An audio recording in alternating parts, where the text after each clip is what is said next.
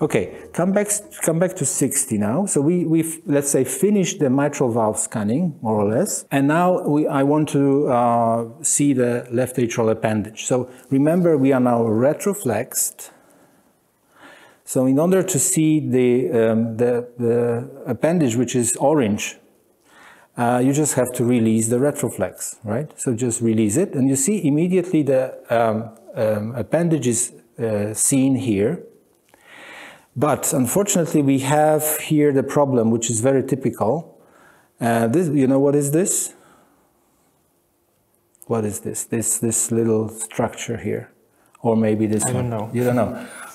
Uh, so this is this left superior ven- uh, pulmonary vein, and there's a membrane that is just uh, a fold of, of the uh, left atrial wall and the venous wall.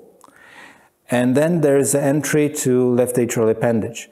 In real examination, this structure creates a lot, a lot of artifacts because it is a double layered structure here. And uh, usually it creates many reverberations which cover all the left atrial appendage. So either you don't see the thrombus which may be there, or you see something which you think is a thrombus, but in fact it's just, just the artifact.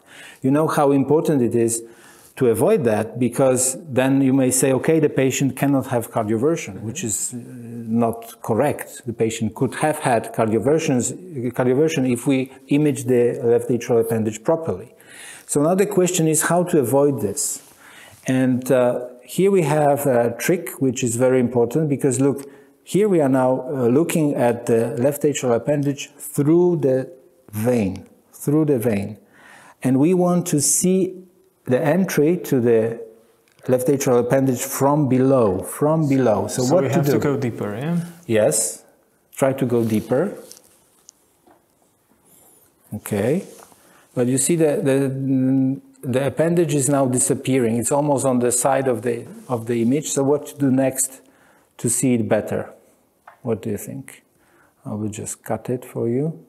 Okay. How to see? Yes, very good. So you did anteflex. Anteflex, yeah? yes. So you are now deeper in the esophagus, but you are looking up to see the left atrial appendage. And look what happened. We have it on the center of the sector. We have this Coumadin ridge, which is the fold creating the artifacts away from the uh, propagation of the ultrasound beam. So now you have perfect uh, uh, setting for imaging the left atrial appendage. And now if you put it in the center, you can rotate the plane from zero to uh, 45, 90, 130, and you, you can still have the left atrial appendage visible in the sector, right? So you are now uh, rotating the plane around the left atrial appendage, and you keep keep it visible all the time. So this is a good view to exclude or confirm a thrombus in the in the left atrial appendage.